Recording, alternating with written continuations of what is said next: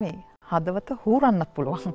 එච්චර ප්‍රබල වචන ප්‍රබල යෙදුම් යොදාගත්තහම සිින්දුවකින් ඒ වගේ දේක මිනිස්සුන්ට කරන්නට පුළුවන්ගට මේ මෑත කාලේ කලා භාවිතාව ගත්තාම හිතන දැනුවත් තරුණ පිරිසකගේ දායකත්වයක් අපිට ලැබෙන සහ අපිට විදින්න පුළුවන් අවස්ථාවකට ඊළඟට යන්න හදන්නේ.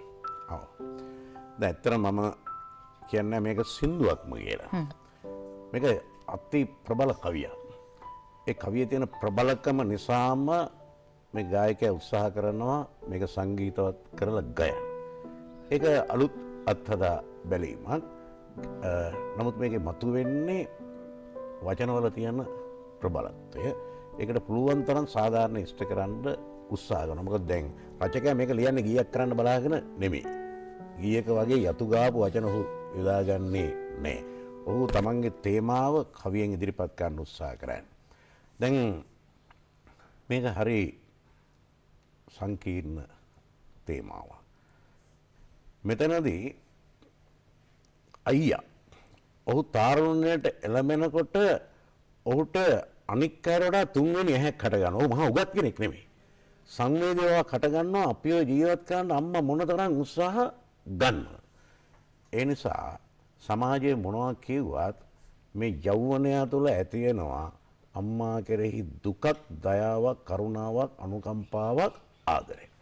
හැබැයි ඒක අර සහෝදරියට නංගිට දැනෙන්නේ නෑ. නංගිට දැනෙන්නේ සමාජය අම්මට පහර දෙන ආකාරය. අම්මා මෙසේ කටයුතු කිරීම තුළ තමා සමාජයේ මුණ දෙන කේජවාචකය. තමන්ට යාළු මිත්‍රාදීන් ඉස්සරහා ඇතිවෙන නින්දාව තමන්ට පෙම්මතෙක් හොයාගන්නට තියෙන බැරිකම ඊට පස්සේ අම්මාගේ මිනුම් දණ්ඩෙන් තමාව මනීද කියන සැකය මේ නිසා ඇය නිතරම මවත් එක්ක අරගලයක් ඇති කරගන්නවා. ඇය මවට ගරු කරන්න පෙළඹෙන්නේ නෑ. මවට වැදිය යුතු අවස්ථාවගත් අපි ගැන දෙමවපියන්ට වඳිනවා කවුරුත් අවුරුද්ධම් බැරි වුණත් සිංහල අවුරුද්ධටවා. එතනදිවත් ඇය අම්මට ගරු කරන්න උත්සා කරන්නේ අම්මට චෝදනා කරනවා. මෙන්න මෙතනදී අයිය ඉතාම හැඟීම්. තේරෙන භාෂාවෙන් නංගිට තේරුම් කරන්න උත්සා කරනවා අම්මා කෙබඳු කෙනෙක්ද කියන.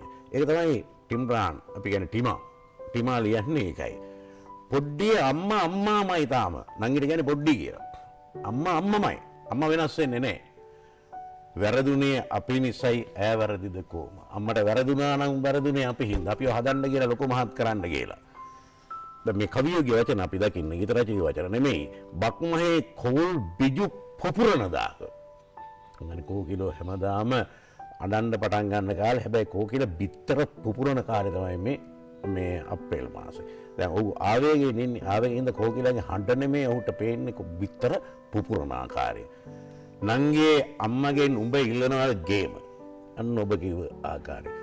මෙතනදී මේ කවියට අසීමිත විදිහට වචනවලට යන්න පුළුවන් තේමාවටන්න. තේමාවට අනු යන්න පුළුවන් දැන් උදාරණයක් හැටියට අපි ගත්තොත් ද මේ නගති සුළි සරත්තර මහත්මත් මේක මතක් කරා අරුසෙන් ඔහුබු සූරීන් හෙළ බස පිළිබඳව විසාරදයෙක්න. නමුත් ඔහු එක්තරා තැනක ලියනවා අපේ තුවක්කු ඉහල්ලම කාලතුවක්කු ගහන්න වෙදනා වැදුනොත් ලෝකෙට මුක්කු මුක්කු ගැන මේ බාසු ලීරන බාසුන් නෑලය වචන නමුත් අවශ්‍යතන්ගේ වචන පාවිච්චි කරන්න අයිතියක් තියෙනවා. දැන් අයියා ඉල්ලන සමාජයේ කාත් එක්ක රණ්ඩුවෙන් යනවට කියන්නේ ගේමක් කියලනවා කියන. ඉතින් අයියට තේරෙන්නේ ඒකයි. නංගි රණ්ඩුවෙන් යනවා අම්මත් එක්ක නංගි අම්මගෙන් උඹ ඉල්ලනවද ගේම. අපිට කණ්ඩ බොණ්ඩ දෙන්න මෙච්චර වැරවෑයම් කර ගෑනු කෙනා එක්කදුම්ඹ මේ රණ්ඩුවෙන් යන්නේ.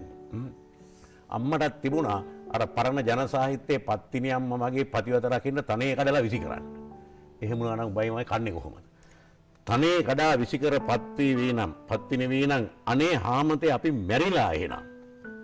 වනේ පාරන්නේ වනපල විසවීනන් නගේ දැන්යමම් පණිපුර ගිනිතියපක්.